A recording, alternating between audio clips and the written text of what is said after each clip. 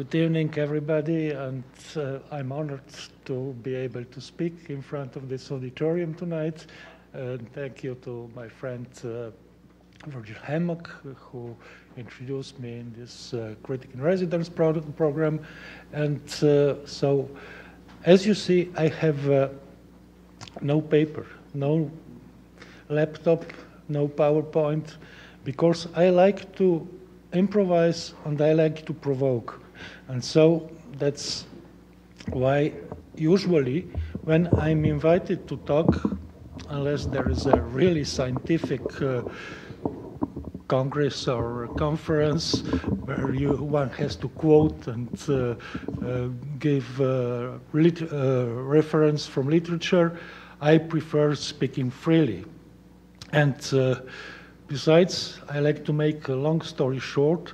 And what I love the most is that the present auditorium, the persons in the hall, give me uh, ask ask questions, and then, then we can uh, develop a debate, uh, discussion, and confront different ideas, different points of view. So, uh, as you've heard, uh, I, I was asked to give a title to my presentation, my paper, call it whatever you want, how to be, and so I have chosen this, how to be the system when there's no system. So uh, this needs a, little, a small, short explanation. Uh, when I use the word system, I mean the art system. What is the art system or system of the arts? Uh, some maybe 20 years ago, the famous Italian art critic uh, Achille Bonito Oliva ABO, or ABO, as he's called, wrote a book with this title, Il Sistema dell'Arte, the System of the Arts. So in this book, he explains how the art world is functioning. And these uh, various functions and connections between them, he called them the art system, il sistema dell'arte. And the backbone of the art system, according to him, is the network of uh, private galleries.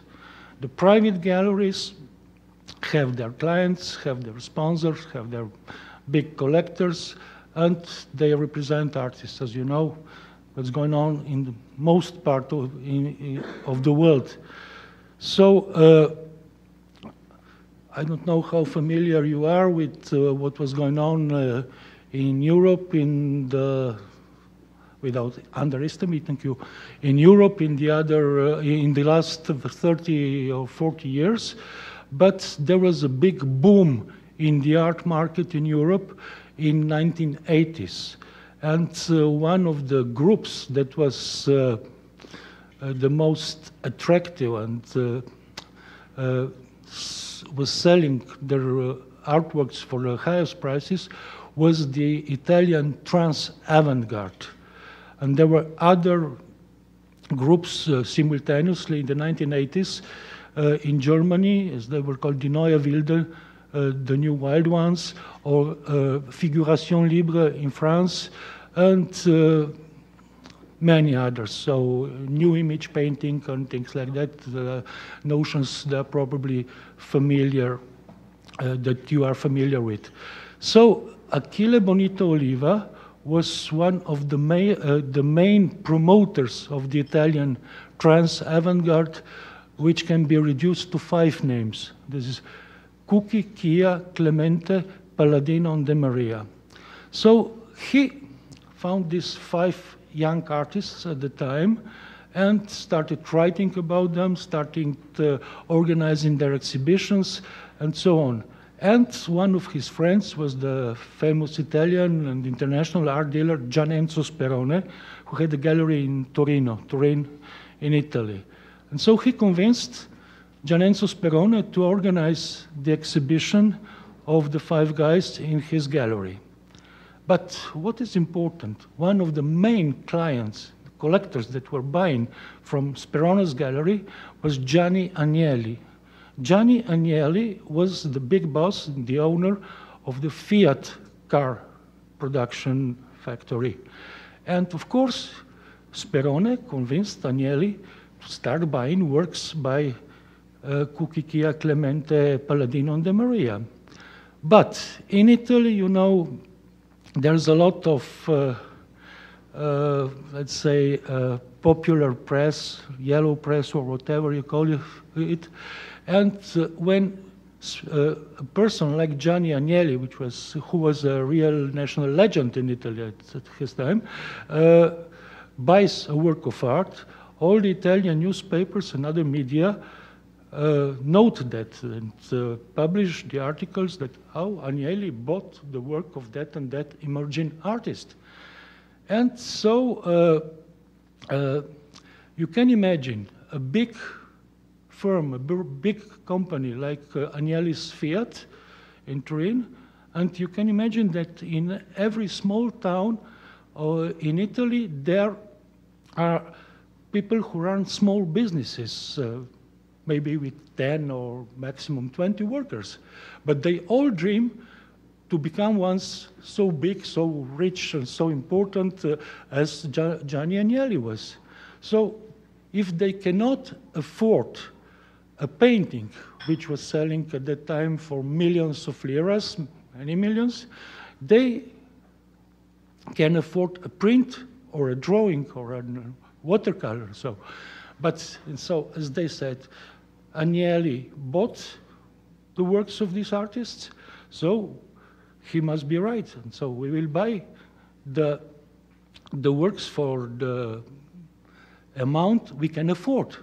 And so the demand was getting stronger and stronger, and the prices were going up for a certain time. And it was the same thing happening with the artists of the same generation in uh, other countries, and especially at auctions and uh, in uh, art fairs, that uh, their paintings were uh, sold and resold. I witnessed myself at the art fair in uh, Milano, Italy, when the same painting, this one single day, was bought and resold three times.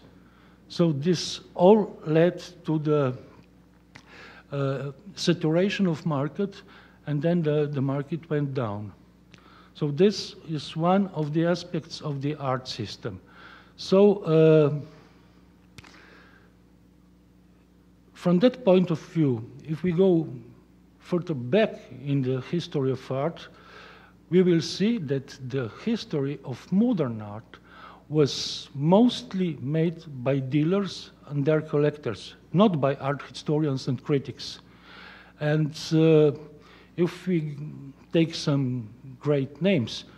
Uh, Picasso, I guess, would never be so famous without his two most important dealers, as uh, they were Daniel Henri Kahnweiler, or Kahnweiler, as the French pronounce it, and Ambroise Vollard.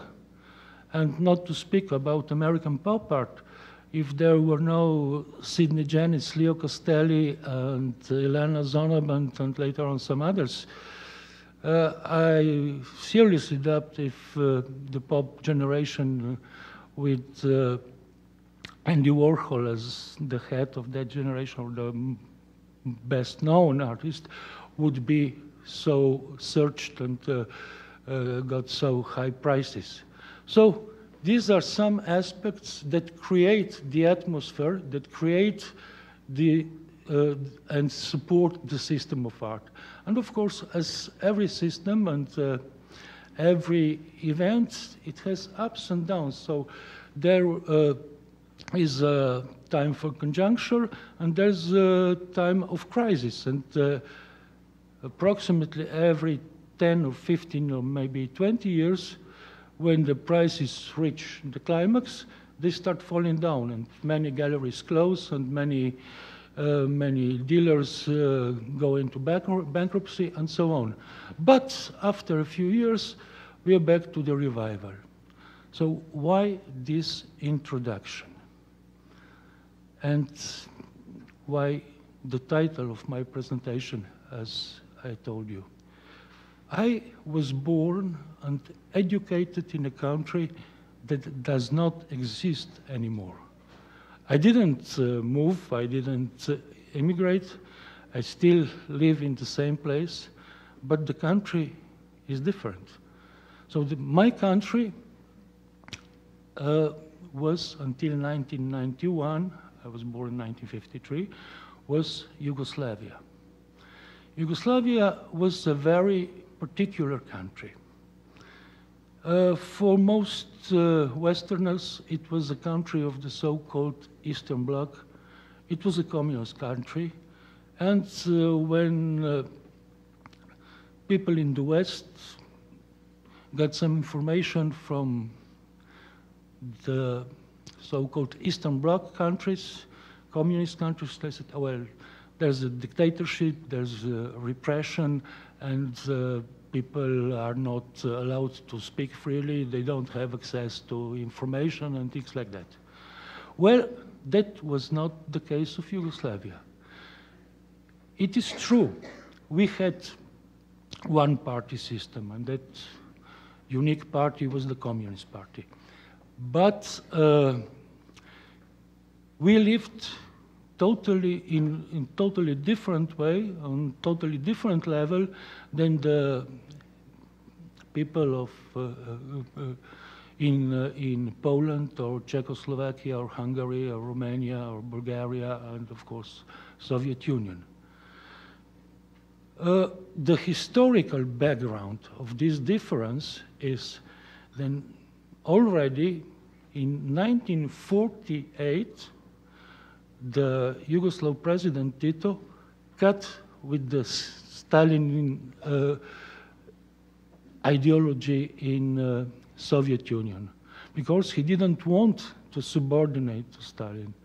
But it, this has uh, even older uh, roots. Uh, when the World War II was approaching to the end, uh, Stalin Churchill and Roosevelt met in Yalta.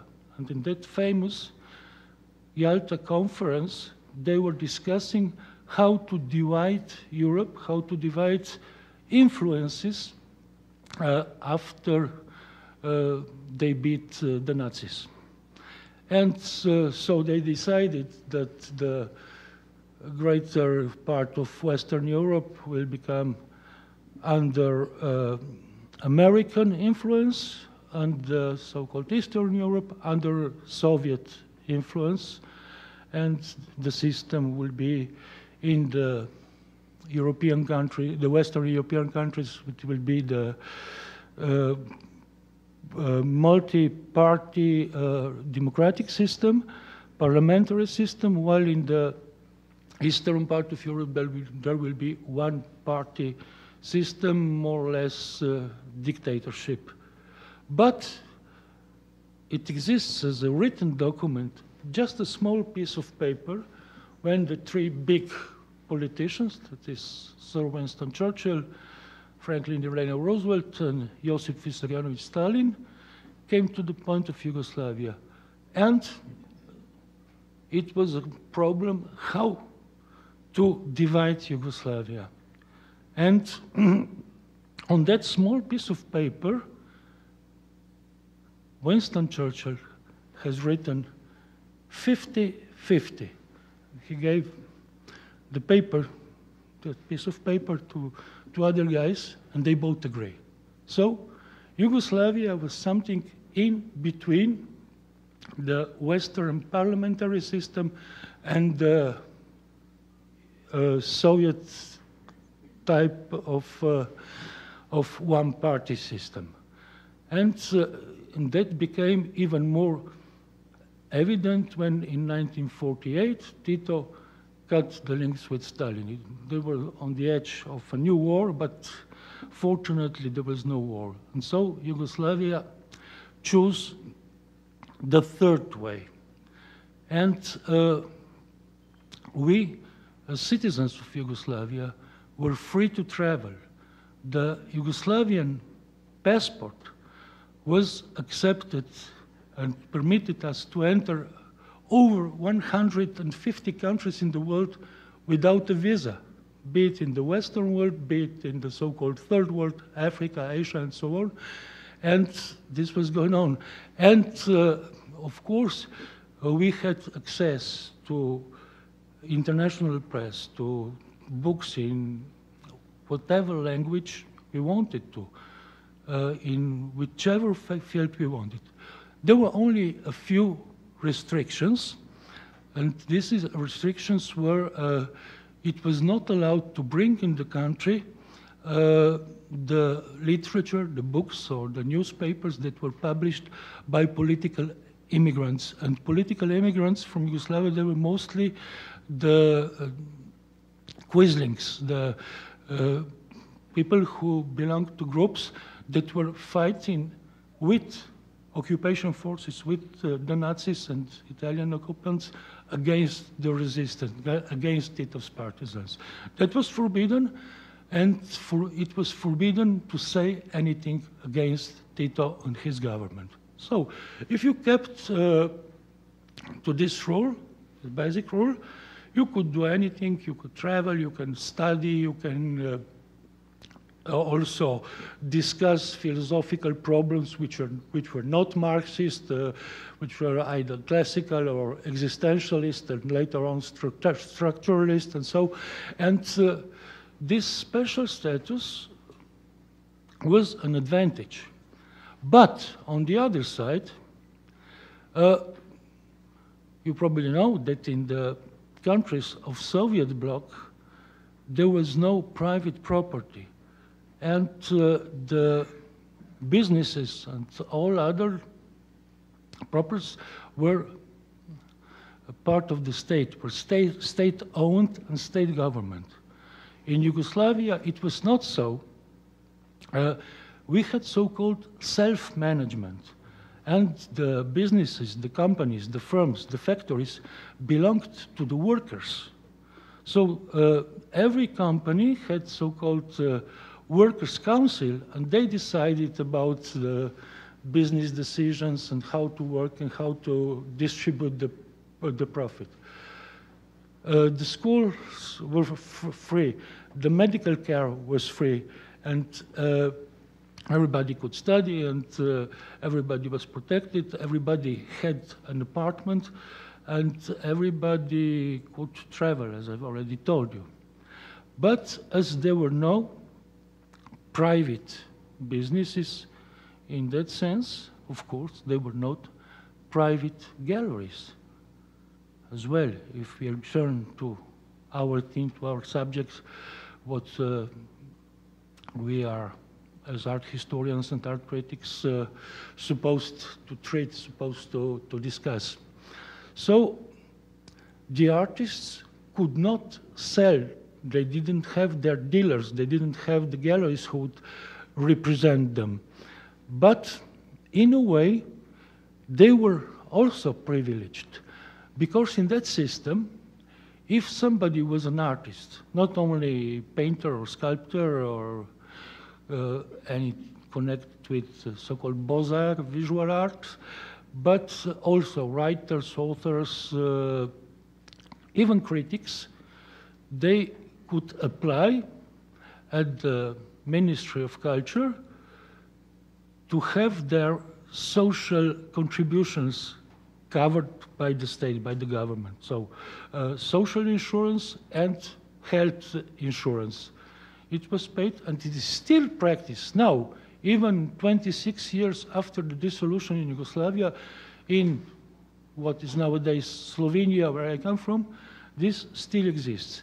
There's a strong uh, pressure from European Union to cancel this because in the other uh, countries, members of the European Union, this does not exist. But it is, in a way, it is a Soviet heritage. But most artists have their uh, uh, social uh, contribution paid by the government. And as I said, there were no private galleries who would promote artists and sell their work. Uh, there were other ways for the artists to survive. Most of them were teaching. Every primary school had uh, so-called visual arts education, and many of the artists, after graduating from art academies, were employed as art teachers in primary schools and also in secondary schools or high schools as well. Uh, there were so-called uh, houses of culture where the courses, the lessons were given for amateurs or for everybody interested in fine arts. So the artists were teaching there as well. And step by step, since 1950s, 1954 uh, or 56, the firms, the companies were encouraged to make their own art collections. So uh, a lot of my colleagues, which are a bit older than I am, were asked to select the works, uh, the artworks for the collections of various businesses, companies, uh, banks, and, and so on. And some of them have uh, very important collections. But there's a catch.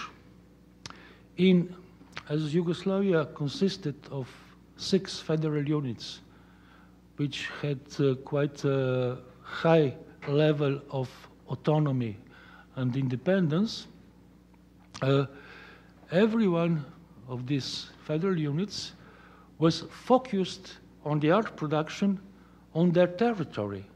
So in Slovenia, 95% of collections, be it the corporate collections in the companies, be it the collections in the museums, are national. And that means that only Slovenian artists are presented there. There are, no there are practically no international collections, and uh, this is one of the reasons that the artists from Slovenia are not known outside the national borders.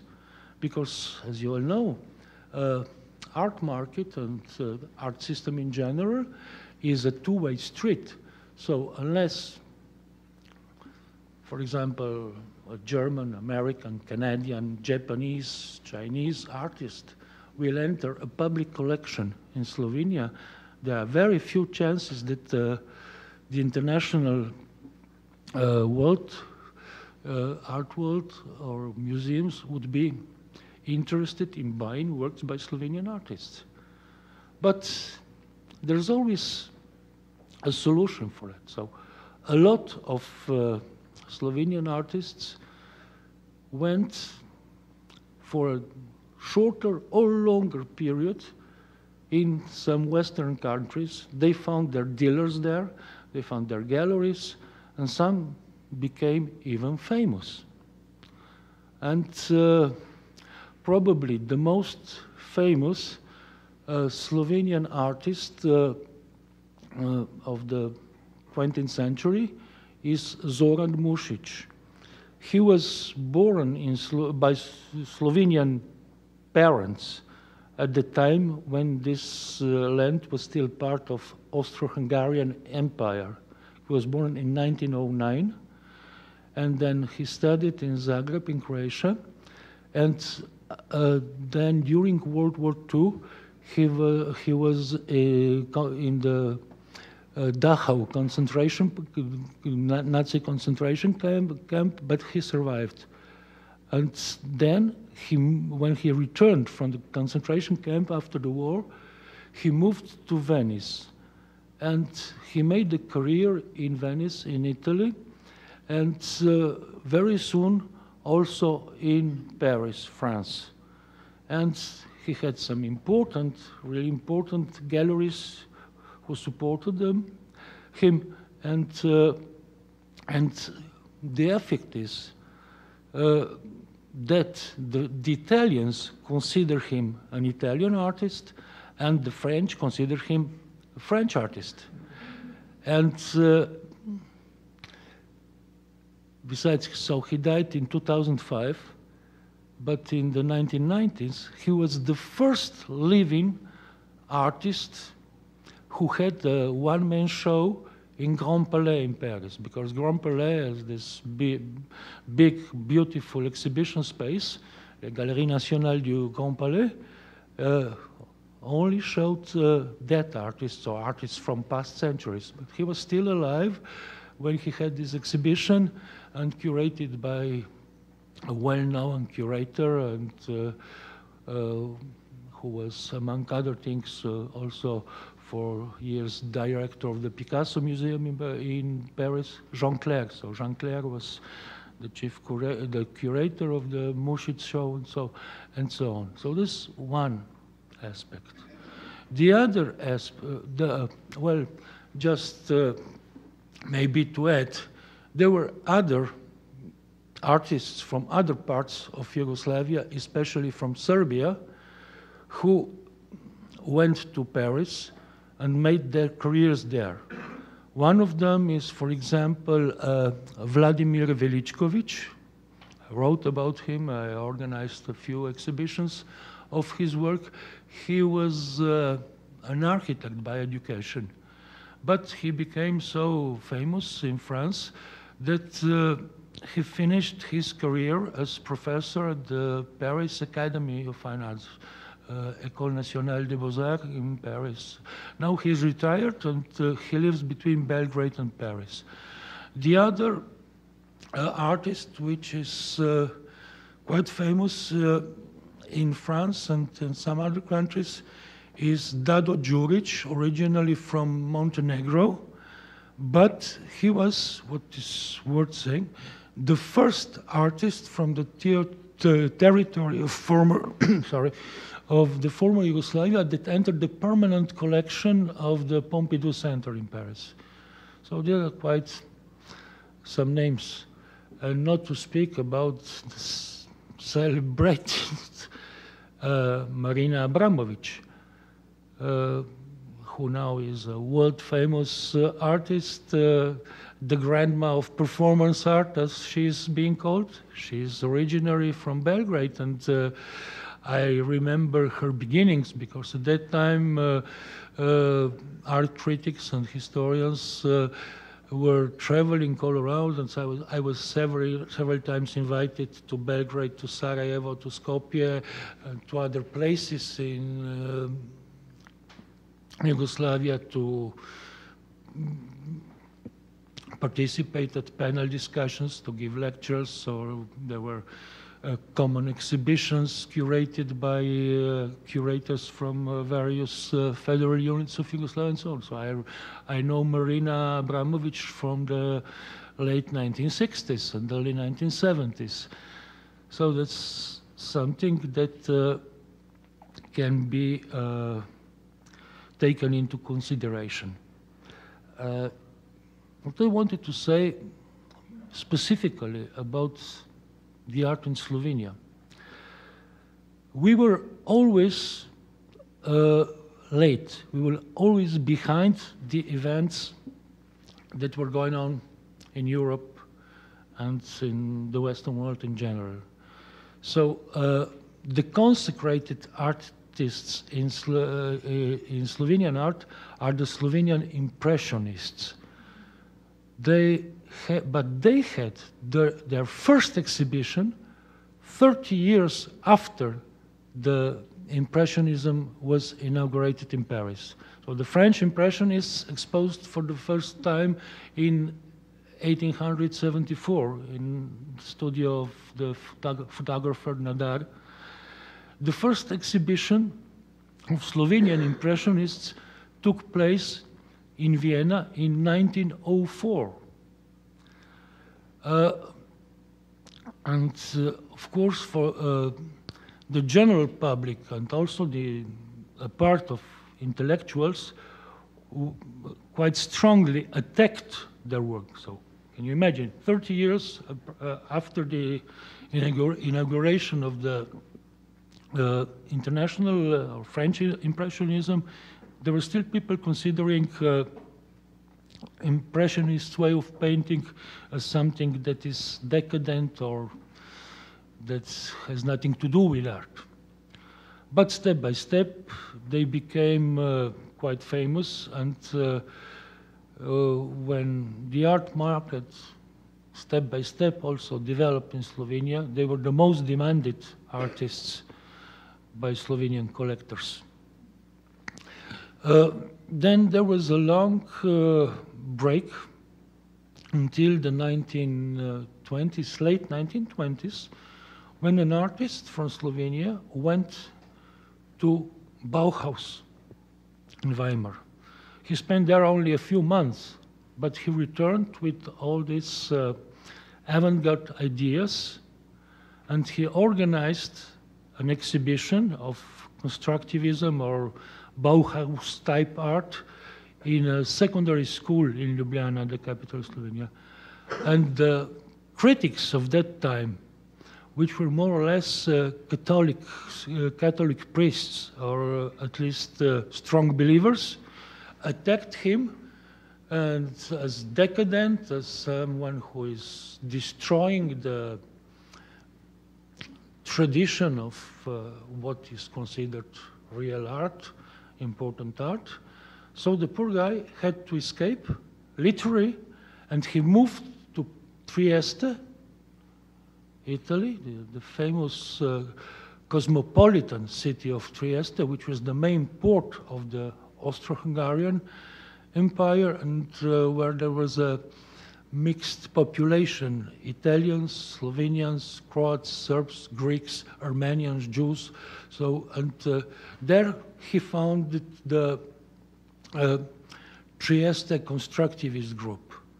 And he was recognized only, it was in 1920s or early 1930s, he was recognized only in the 1960s in his native country. Uh, by the way, uh, you you know that uh, Leo Castelli, the legendary art dealer, he's originally from Trieste. And uh, well, he, he, entered the art business quite late, when he was over 50. And uh, uh, there's a biography of Leo Castelli that was written by a French journalist uh, maybe eight or ten years ago. And uh, uh, Leo Castelli remembered when he was going to primary school in Trieste that uh, some of his uh, uh, companions in the class were, were Slovenians.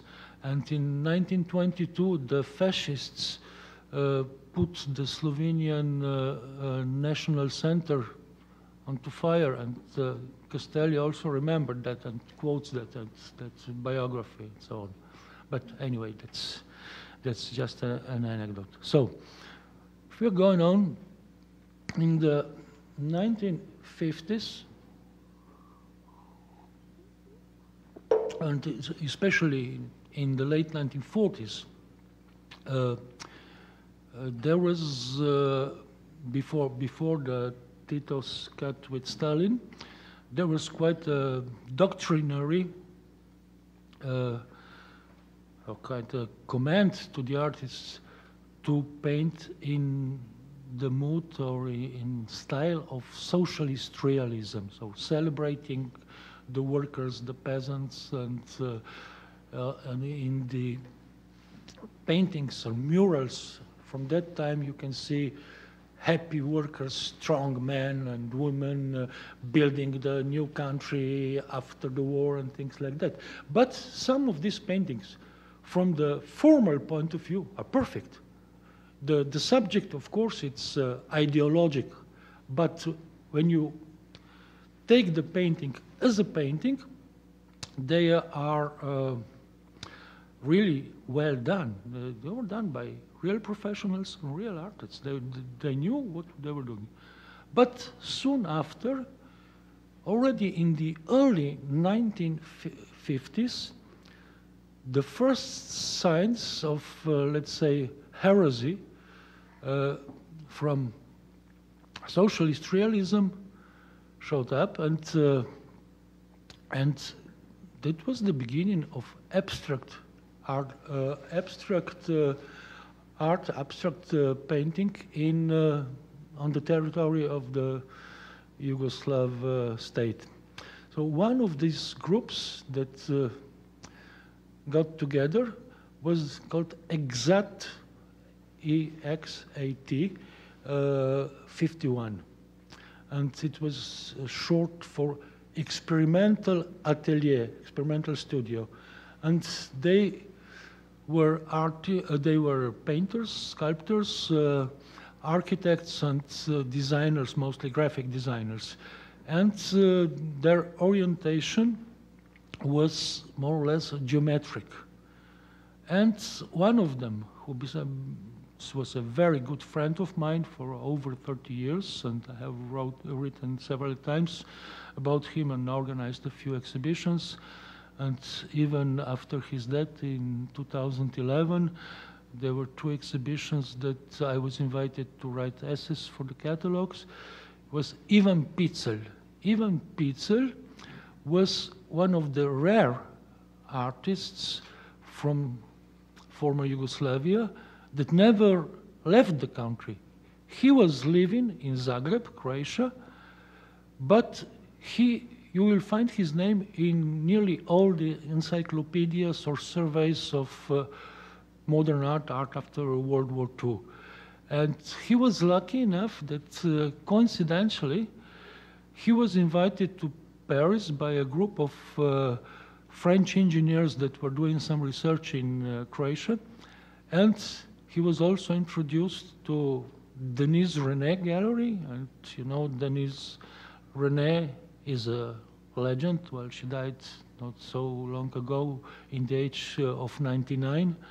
And uh, she was the, the one who created Vasarely. And she was defending uh, geometric art, neo-constructivist art, Semitic art, and so, and uh, Picelj perfectly entered uh, uh, the concept of her gallery. Uh, Denise René founded uh, her gallery immediately after the liberation of Paris in 1944. And in the first years, she hesitated, uh, she had some affection for surrealist art, especially Man Ray and Yves Tanguy and so, even Miro. But soon she orientated herself to geometric abstraction and she insisted uh, on that orientation till her death because uh, in the 1960s the geometric, geomet geometric tendencies were quite popular. And uh, among the artists in Denise René gallery, there were uh, Scandinavian, South Americans, like Mortensen or uh, uh, uh, Jacobsen from Scandinavia, and then came the South Americans like uh, uh, Jesus Rafael Soto and Carlos Cruz Diez, and of course, one of her favorites was Victor Vasarely, who was Hungarian by origin. And uh, also through this Croatian artist, Ivan Picelj, I had the chance and honor to meet uh, Denise René in person, and I made two interviews, two long interviews with her for Slovenian media, and also uh, uh I met most of still living artists uh, that she represented. I met with Soto, I met uh, several times uh, with Carlos Cruz Diez. Soto died, uh, but uh, Carlos Cruz Diez is still alive, and Joel Stein as well. And uh, so it was for me as a young art historian quite an experience to be able to speak and to meet personally and have dinners and lunches with people who are already legends in the history of modern art. So that was, that was nice. But let's return back to the uh, situation specifically in Slovenia. So I was speaking about this uh, delay, this uh, art tendencies, trends, schools, movements, whatever you call them, uh, that came to our land uh, with uh, 10 or 20 years uh, delay uh, in comparison to what was happening in the Western countries. Uh, but step by step, we were approaching the, the international art system and uh, not being delayed anymore. And this happened in the late 1960s with conceptual art. Uh, in Slovenia, there was a group called OHO, O-H-O, which is combined with UHO, which means ear, and OKO, eye. So eye and ear together, and OHO, O-H-O. And it was the name of a conceptual artists group who independently what was going on. They were not copying anyone. They were not following any trend in, I don't know, France or United States or wherever, but they were doing simultaneously more or less the same re research. And they were, and that was one of the reasons that they were invited to participate at the famous information show, as it was the name of the, the exhibition uh, organized by Museum of Modern Art in New York. And since then, there's practically no delay. There's practically uh, no uh, uh, uh, artists from our territory are not following the trends in the world uh, metropolis and, uh, and capitals, and they are doing their work simultaneously. Well, the question that remains is how to survive. How to survive in this system? I already told you they have certain benefits that the government covers their social insurance and uh, health insurance. But the artists are usually uh, supposed to sell their works. So step by step, they are finding collectors and uh, uh, as I said before, uh, in the very beginning, the backbone of the art system and the art market are the private galleries. Till 1970, there were no private galleries or no commercial galleries at all on our territory. The first commercial galleries opened in, uh, as part of some publishing houses. And you can imagine that uh, uh, in the interest of publishing houses that print books is to sell prints, also graphic prints. Well, we have one big advantage, and that is the Ljubljana Print Biennial uh, that was founded in 1955 and uh, I remember when I was going around the world uh, visiting artists and galleries and museums, whenever I was introduced to someone and I told them that I was coming from Ljubljana or from Slovenia, oh, they said, oh, you have uh, the print biennial. It became so famous and uh, many, many of important uh, artists won the prize at the Ljubljana Biennial, and many of important critics were invited to participate in the jury of the biennial. Among others, just to quote properly, the best known one was the famous French critic Pierre Restany, who was a member of the Ljubljana Biennial uh, jury several times. And what is curious and what very few people know, Robert Rauschenberg was in fact discovered in Ljubljana because he won the grand prize the Ljubljana uh, print biennial in 1963 and in, only in 1964 she, he was awarded at Venice Biennial, thanks to Leo Castelli, who organized uh, uh, everything, arranged everything uh, in a very corruptive way that uh, Bob uh, Rauschenberg is awarded in Venice. The works of uh, Rauschenberg were shipped to Venice uh, by United States Air Force.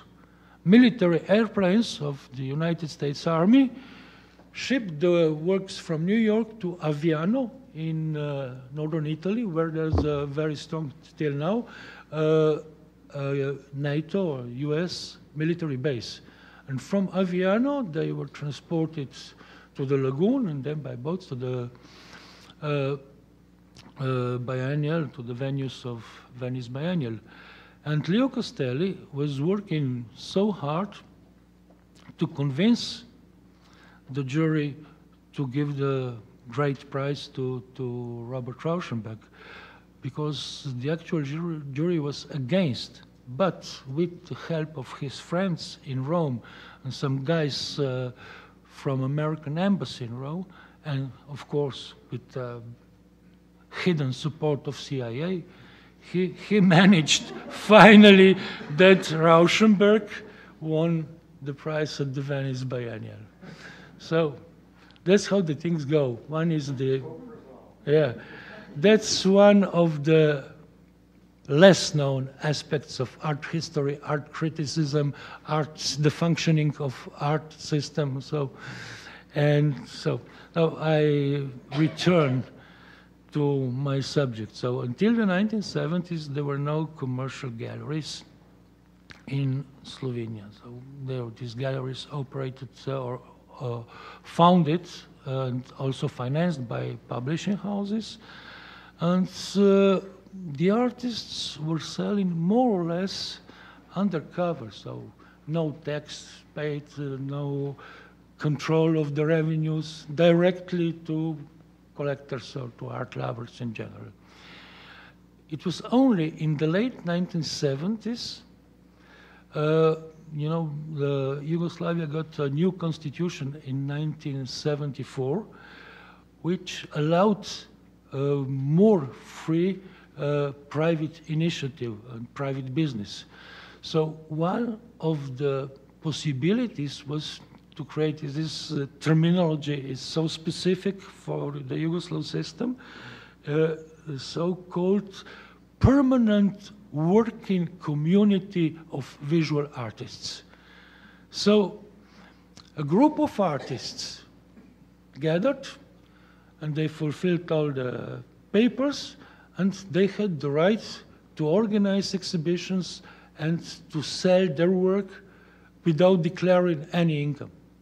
So this was functioning. It started in the apartment of two of my friends, colleagues. One died last year, unfortunately. The other one is still alive. In their small apartment, it was the siège social of this company. And, but today, they have one of the most beautiful exhibition spaces in Ljubljana. It's called Equrna, which is quite a strange name, but you know, Ljubljana was settled even in uh, pre-antique times, and there are swamps there, uh, and uh, the there was uh, some people living there. They made uh, their houses of the wooden houses on the swamps, you know, on the trees, like like, like Venice is built, you know, and uh, and they were worshipping the goddess Equrna. It was the goddess of those swamps, and so. And later on, of course, came the Romans, and uh, there was quite a strong Roman settlement in Ljubljana. It was called Emona, and still exists. Now, actually, they are rebuilding the canalization system and uh, two weeks ago they found a, a Roman graveyard that with sarcophags and things like that. So whenever somebody starts digging in the town, something comes out from the ancient times so. So that's so that was one of the ways how the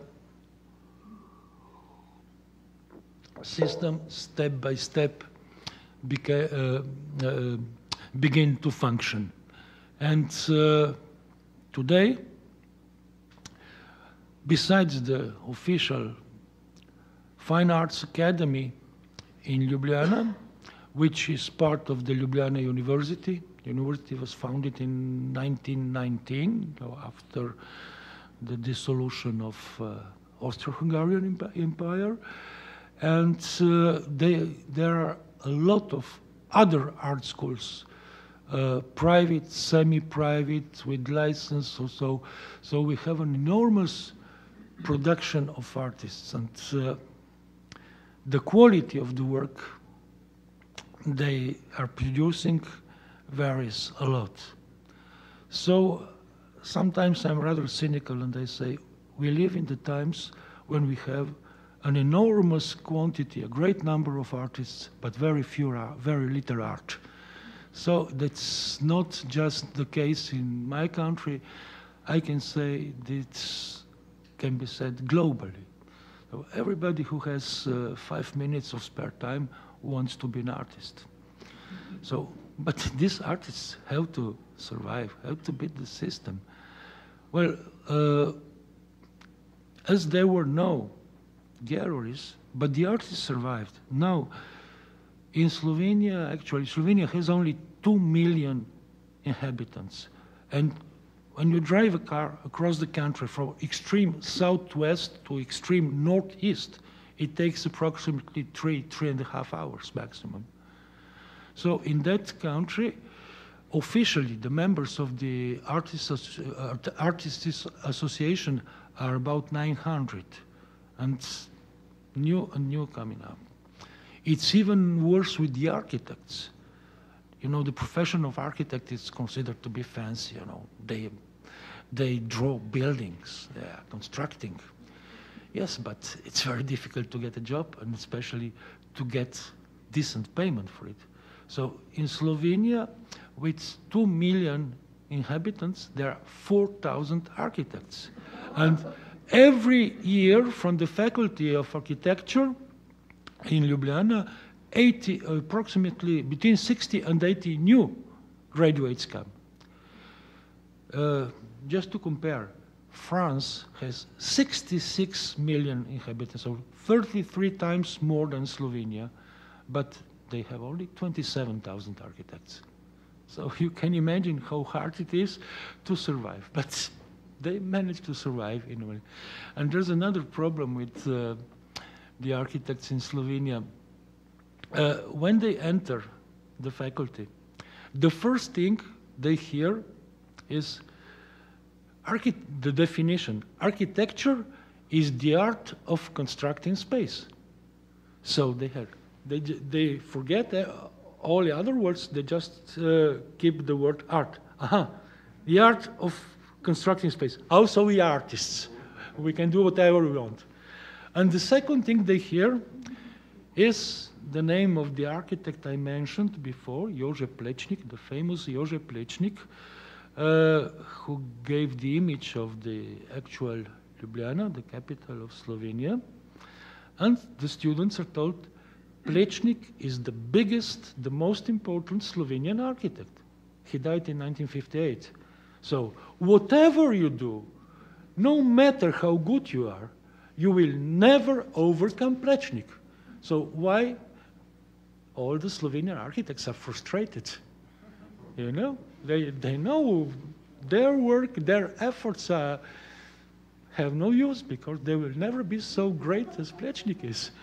So there are some contradictions uh, in Slovenian cultural life in general, but so I don't make this uh, difference between painters, sculptors, architects, uh, designers, and so.